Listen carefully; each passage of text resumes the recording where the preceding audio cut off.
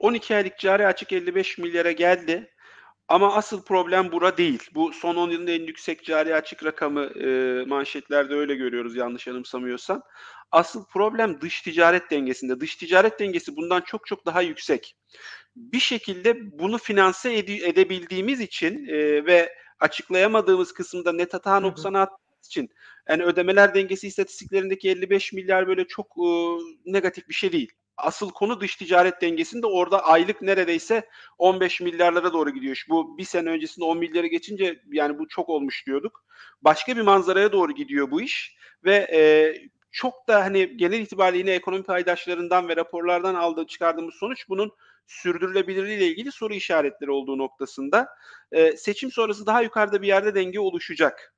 E, bu net. Burası da büyük ihtimalle 20'li rakamların zaten 19'lara geldik. 20'li rakamların üzerinde olacak. Ama bu hani bunun için 25 olur, 28 olur, 24 olur demek kolay değil. E, genel itibariyle tabii ihracatçı tarafından gelen talepler var. Şimdi gelen dövizi de e, bozdurmayla ilgili, e, TL'ye dönmeyle ilgili bir yine regülasyon olduğu için onlar da bu seviyelerden tabii satmak istemiyorlar.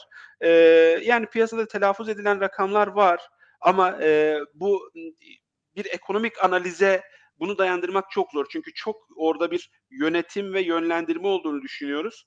E, ama e, seçim sonrasında yine ekonomi politikalarından bağımsız. Bir şekilde bir yukarı gitmek zorunda. Daha sonra sert faiz arttırırsınız o aşağı gelir başka.